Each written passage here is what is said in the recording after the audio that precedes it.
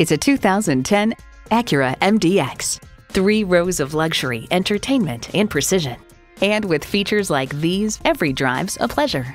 AM, FM, XM satellite radio, Bluetooth hands free link, front heated leather bucket seats, auto dimming rear view mirror, three 12 volt power outlets, dual zone climate control, V6 engine, express open and close sliding and tilting sunroof, gas pressurized shocks, and power with tilt down heated mirrors.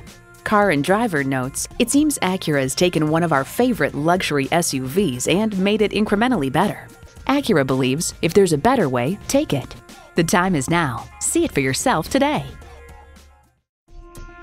Welcome to Daniels BMW at 4600 Crackersport Road in Allentown, Pennsylvania.